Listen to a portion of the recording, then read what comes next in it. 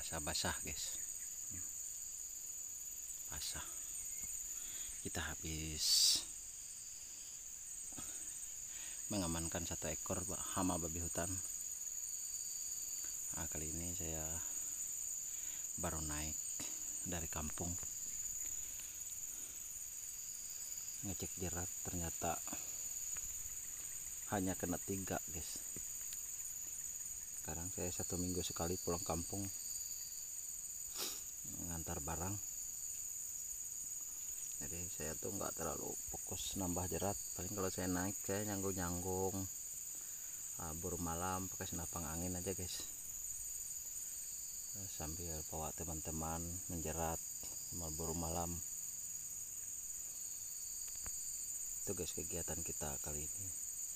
Jadi kita nggak terlalu banyak dapat konten menjerat karena saya punya jerat 19 saja 19 sisanya. 18 sudah kena ini satu kena tadi. Kemarin dua ekor busuk guys.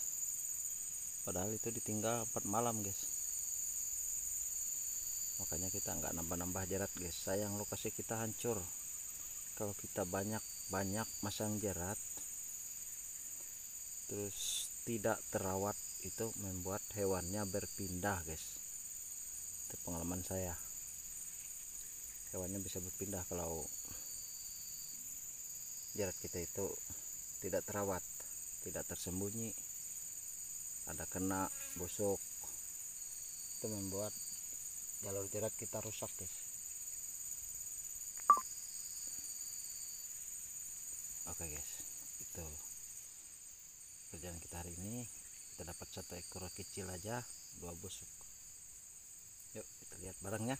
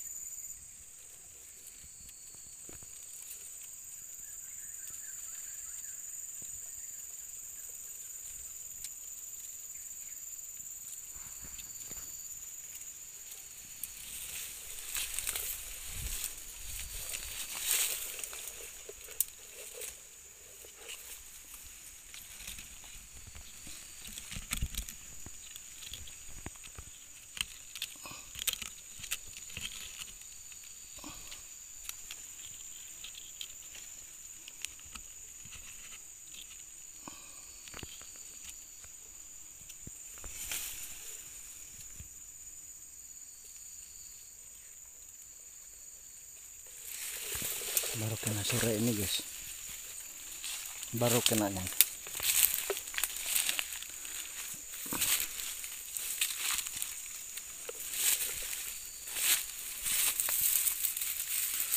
Udah ini sudah dua kali lepas di sini guys.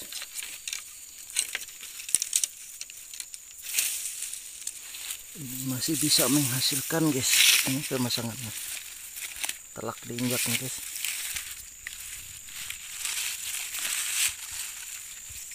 injakannya tan- tanahnya ini indah untuk anakan guys. Tapi ini sudah masuk 20 kilo. Memang lepas jerat saya ini guys kalau 20 kilo. Kita simpanan talinya nggak terganggu guys. Itu tepat sekali kenanya guys. Longgar aja tali ini baru kena guys. Nah, mungkin setengah jam yang lalu udah kena nih soalnya nggak ada tanda-tanda yang terlalu dia mengeluarkan tenaga.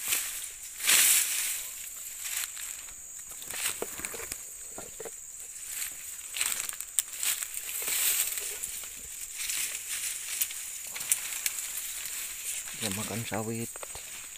Masyarakat guys. Ini ada yang bekas ya yang lain guys lari. Waktu kena berarti dia ini enggak sendiri guys pelan-pelan aja sambil tahu ada yang datang. Nanti di sini.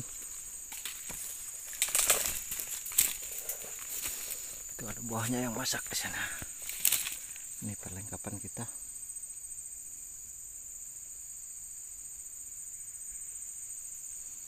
Sana ada buah masak juga.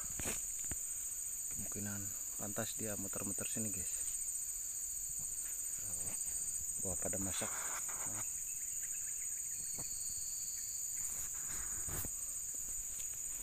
oke bro itu dulu hasil kita hari ini